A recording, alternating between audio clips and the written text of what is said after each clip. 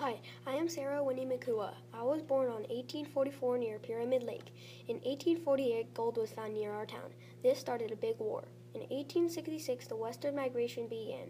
In 1880, Congress enacted regulations outlawing native religions. I died in 1891.